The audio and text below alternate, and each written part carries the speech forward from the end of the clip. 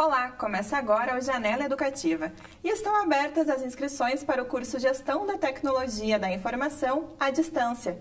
E o profissional formado nessa área cria soluções voltadas à administração da infraestrutura dos ambientes informatizados de uma empresa. Por isso, nessa semana recebemos a coordenadora do curso, professora Sandra Terezinha Miorelli. Professora, que bom tê-la aqui conosco, tudo bem? Muito obrigada, Vanessa, tudo bem. Uhum. Professora, esse curso é um curso voltado a essa tecnologia, a tudo que está modificando com o tempo, né? Uhum. Quando é que ele, desde quando que ele surgiu? Qual que é o conceito do curso? Ok. Na verdade, nós estamos formando a nossa primeira turma agora, em 2015 no mês de agosto.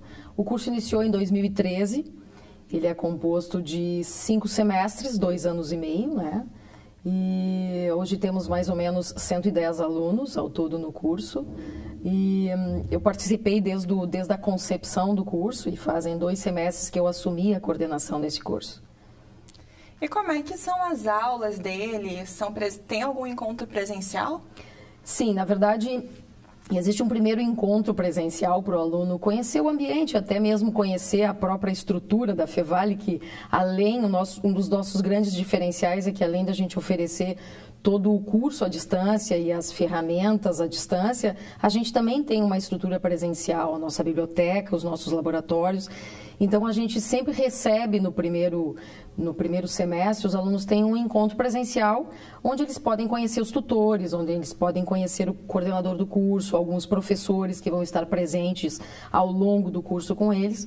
E, mas presencialmente mesmo, por obriga, uma, uma, uma regra até do próprio Ministério de Educação e Cultura, é que ele vai ter uma prova, uma avaliação presencial e duas avaliações à distância ao longo de cada um dos semestres a gente sabe que o curso à distância não tem aquela força da presença física ali do professor. E o aluno acaba muitas vezes tendo que considerar mais os prazos, tendo que se puxar um pouco mais. Como é que funciona essa atenção do aluno dentro de um curso à distância?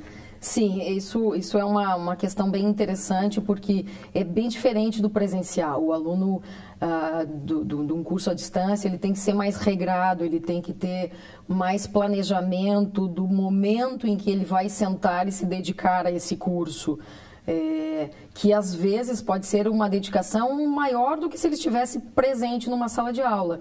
Ele tem mais material de leitura, ah, através do ambiente a gente pode disponibilizar materiais que já estão presentes na internet, né? vídeos, até mesmo a própria interação com os demais colegas através de fóruns de discussão, pode exigir dele um, um estudo, uma pesquisa antes de uma participação mais qualificada. Né?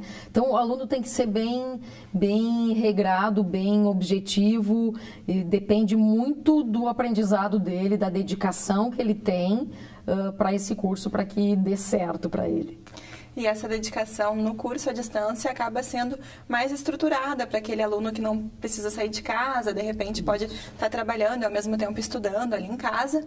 Sim. Só que ao mesmo tempo vai estar tá trazendo essa conquista de um diploma cada vez mais importante, não hum, só nessa área, mas hum. em todas as outras, né? Sim, sim.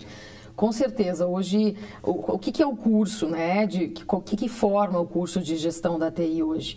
Nós temos duas grandes áreas, né, dois grandes estudos que são feitos nesse curso, que é toda a área de tecnologia da informação, onde o aluno inevitavelmente vai precisar conhecer uh, linguagens de programação. Não necessariamente ele vai ser um programador, mas ele precisa conhecer o processo de desenvolvimento de software. Então, ele tem uh, alguns conteúdos que abordam a engenharia de software, linguagens de programação ele precisa conhecer a arquitetura dos computadores, ele precisa conhecer a tecnologia da informação, ela também é chamada tecnologia da informação e comunicação. Então, dentro da comunicação, tem toda a estrutura de redes, de, comunicação de dados, que é a parte mais computacional do curso, que ele precisa conhecer isso, né? Além de bancos de dados e, e, e, outras estruturas computacionais. E, por outro lado, a gente tem um outro segmento de, de, de, de, de conteúdos que contemplam mais a estrutura organizacional, né? todos os níveis, os níveis organizacionais da empresa, desde o operacional, tático, estratégico, sistemas de informação que contemplam, tem disciplinas de gestão por processos, gestão de pessoas. Então, na verdade, é um conjunto de duas áreas, né? A computação, mais questões administrativas, pode-se dizer assim, e o profissional vai estar se formando, conhecendo esses dois lados, né? Porque ele vai ter que administrar isso, né? Ele vai ter que achar soluções tecnológicas mais adequadas às necessidades organizacionais. E a Fiavale, se mantendo à frente, percebeu essa necessidade que o mercado encontrava de buscar profissionais capacitados para isso. Como é que anda o mercado para esse tipo de profissional? Sim, isso é uma, como, como eu falei, né? Até então a gente vem formando sempre o pessoal da computação e os, os administradores, né? O pessoal mais da área de gestão. E, e falta realmente hoje a gente está sendo atropelado cada vez mais por novas tecnologias, né? E a gente precisa de profissionais que consigam fazer esse link entre essas duas áreas, né? Eu sempre gosto de, de, de, de dar um exemplo seguinte: esse profissional, na verdade, de, de gestor de TI, ele consegue descobrir qual o número que a empresa calça certo? E ele vai para o mercado achar um calçado tecnológico que possa servir nessa empresa para fazer com que ela continue a sua trajetória, o seu caminho, né? a, a concorrência está cada vez maior e o uso de tecnologias para melhora de processos, é, principalmente de comunicação, enfim, isso é fundamental hoje. Tá?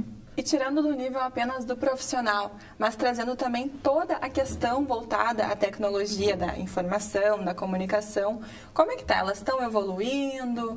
E o curso, ao passo que o mercado para isso evolui, o curso também se adapta? Sim, te, temos que nos adequar até a, a, a, nós passamos há pouco tempo por uma uma tecnologia que foi dos dispositivos móveis, né? Smartphones, tablets. Como é que uma organização pode fazer uso dessas tecnologias para melhorar alguns dos seus processos, né? Fazer uso dessa tecnologia. Eu falo de organizações, mas até para a nossa vida pessoal a gente pode utilizar isso também, né?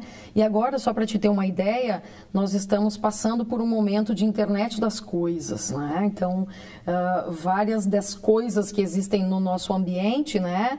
Uma geladeira, roupa, enfim, já vai poder ter sensores ou vai poder mandar informações sobre o ambiente, né? Pela internet e como a empresa pode fazer uso dessas tecnologias. Então, embora a gente tente sempre trazer assuntos mais atuais para o curso, mesmo um, um, aluno formado nesse curso, inevitavelmente vai ter que continuar estudando e se atualizando com tecnologias. E para isso aí um diferencial que talvez a Fevale tenha para os nossos alunos EAD é que a gente continua oferecendo níveis de pós-graduação. Temos uma agora de negócios digitais, que é um, pode ser uma continuidade para um aluno formado em gestão gestão da TI. Temos vários cursos de extensão que acontecem também, sempre procurando atualizar esse aluno. Então, é um diferencial que a Fevale tem, além do curso à distância, ser uma instituição presencial que oferece várias outras coisas para o nosso aluno. E falando nesse diferencial de estrutura do curso, tem os professores também que são super capacitados, né? Sim, a maioria dos nossos, dos nossos uh, professores hoje são mestres e doutores, né? 50% mais ou menos de mestres, 50% de doutores. O aluno também tem, ao longo do, de cada semestre, um tutor. Esse tutor também tem uma formação acadêmica voltada à área do qual ele vai estar mais presente naquele módulo, né? Então o aluno não se sente sozinho nesse ambiente. Ele tem o tutor que o acompanha nas suas atividades.